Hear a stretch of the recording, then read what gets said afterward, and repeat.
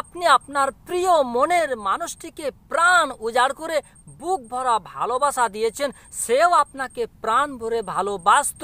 এই ভালোবাসার প্রেম দরিয়ায় ডুব দিয়ে তার সাথে আপনি দৈহিক সম্পর্ক পর্যন্ত করে ফেলেছেন, তাকে নিজের করে পাওয়ার জন্য বিয়ে করে নেওয়ার আশায়। কিন্তু আপনি যেই তাকে বিয়ের প্রস্তাব দিয়েছেন, বিয়ে করে নেওয়ার জন্য আপনি তাকে বলেছেন, অমনি আপনাকে মোবাইলে ব্লক করে দিয়েছে, আপনাকে ব্ল্যাকলিস্টে ফেলে দিয়েছে। আপনার সাথে পুরোপুরিভাবে সম্পর্ক বিচ্ছিন্ন করে দিয়েছে। কোনো মতে সে আপনাকে আর বিয়ে করতে রাজি হচ্ছে না।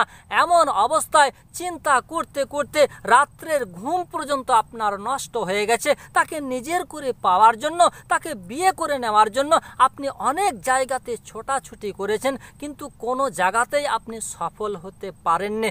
কিংবা আপনার স্বামী আপনাকে ছেড়ে চলে গেছে, আপনাকে আর নিতে আসে না। এমনকি সে আপনাকে আর নিতেও চাইছে না।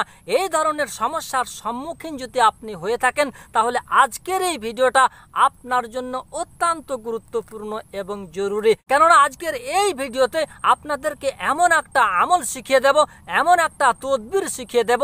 ওই তদবিরটা আপনি সঠিকভাবে প্রয়োগ করে নিতে পারলে আপনার সেই হারিয়ে যাওয়া প্রিয় মনের মানুষটি আপনার কাছে ফিরে আসতে বাধ্য হয়ে যাবে ইনশা আল্লাহ কীভাবে সেই আমলটিকে করতে হয়?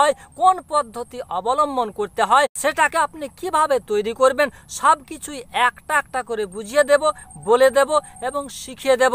সেই জন্যই আজকের এই ভিডিওটি আপনি শেষ মুহূর্ত পর্যন্ত মন দিয়ে দেখতে থাকুন। আর এই চ্যানেলে আপনি যদি নতুন এসে থাকেন, আমার ভিডিও আজ প্রথম দেখছেন, তাহলে এক্ষুনি চ্যানেলটিকে করে দিন, সাবস্ক্রাইব এবং পাশে থাকা বেল আইকনটাকে বাজিয়ে দিন পরবর্তী নতুন ভিডিওর নোটিফিকেশন পাওয়ার জন্য। কারণ আমি সব সময় এই ধরনের নতুন নতুন একটা করে ভিডিও নিয়ে আপনাদের সাথে এসে উপস্থিত হয়ে থাকি। তো চলুন বন্ধুরা, আজকের সেই মূল্যবান আমলটার দিকে আগিয়ে যাওয়া যাক। আমি হারুন রশিদ, আপনারা দেখছেন হানাফি কেল্লা মিডিয়া আপনারা স্ক্রিনের মধ্যে একটা নকশা দেখতে পেয়েছেন। ওই নকশাটা ঠিক গোলভাবে লেখা রয়েছে এবং গোলের মধ্যখানে একটা চারকোনা ঘর রয়েছে। প্রথমে দেখুন, উপরে লেখা রয়েছে সাতশত ছিয়াশি এবং তার চার সাইডে লেখা রয়েছে আইন আইন আইন।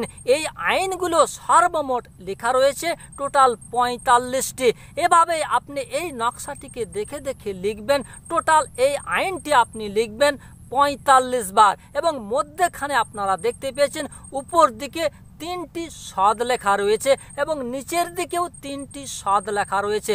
তার ডান দিকে চারটি সদ লেখা রয়েছে এবং বাম দিকেও চারটি সদ লেখা রয়েছে।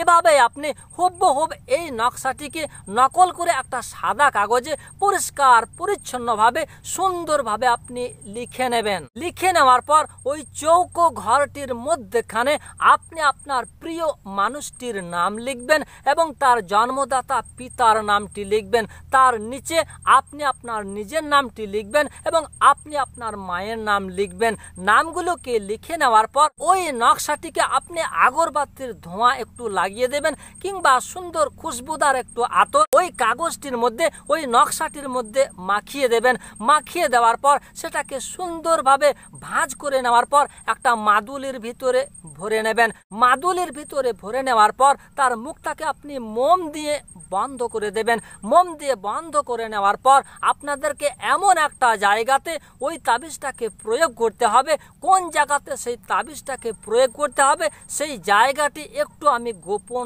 রেখে দিলাম। তার কারণ এটাকে যদি ওপেনভাবে আমি বলে দিই, তাহলে ছেলেমেয়েরা এটাকে অবৈধ কাজে ব্যবহার করতে শুরু করে দিতে পারে। এজন্যই এটাকে একটু গোপন রেখে দিলাম। যারা এই সমস্যার সম্মুখীন রয়েছেন, তিনারা আমার এই হোয়াটসঅ্যাপ নম্বরে যোগাযোগ করবেন। আপনাদেরকে কিছু শর্ত মেনে নেওয়ার পর বলে দেওয়া হবে ইনশা আল্লাহ